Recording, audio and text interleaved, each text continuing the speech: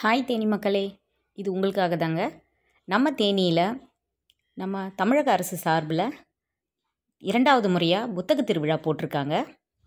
கம்பம் போகிற கம்பம் போகிற ரோட்டில் இந்த புத்தக திருவிழா நடக்குது.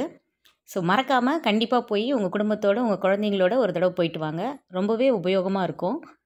எல்லா வகையான புக்கும் இருக்காங்க. நிறைய புத்தகங்களை பார்க்க முடியுது. ரொம்பவே நல்லாவும் இருந்துச்சு. குறைஞ்சது ஒரு ரெண்டு டு மூணு மணி நேரம் நீங்கள் அங்கே வந்து உங்கள் குழந்தைங்களோட நல்லாவே ஸ்பெண்ட் பண்ணலாம்.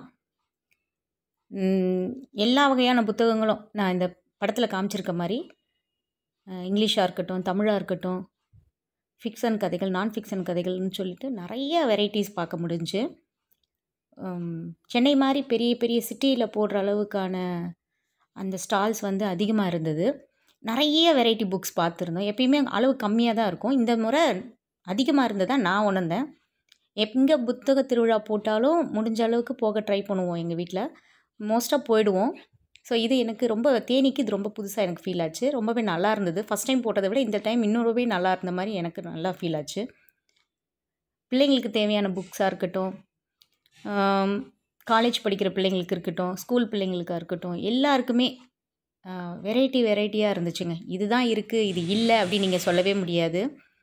எல்லா புராண கால கதைகள்லேருந்து ஆரம்பித்து ராமாயணம் பகவத்கீதை அந்த மாதிரி எல்லா புக்கும் இருந்துச்சு. நிறைய புத்தகங்கள் பார்க்க முடிஞ்சுச்சு. நிறைய ப- நம்மளுடைய நம்ம மனசுக்கு பிடித்த எழுத்தாளர்களுடைய புத்தகங்கள்லாம் அங்கே பார்க்க முடிஞ்சிச்சு. உங்கள் குழந்தைங்கள கூட்டிகிட்டு போகும்போது நிச்சயமாக அவங்களுக்கு ஒரு பெரிய புது அனுபவமாக தான் இருக்கும். ஏதோ ஒரு சின்ன விஷயத்தை நீங்கள் அங்கேருந்து கற்றுட்டு வரலான்றது என்னுடைய தாட் சின்ன சின்ன சிறுகதைகள் விடுகதைகள் கவிதைகள் புது புது விளக்கங்களோடைய விளக்கங்களோடு ட்ரேடிங் பற்றின விஷயங்கள். எல்லா தொழில் சார்ந்தவும் எல்லா துறை சார்ந்த புத்தகங்களும் அங்கே இருந்து தான் நான் பார்த்தேன்.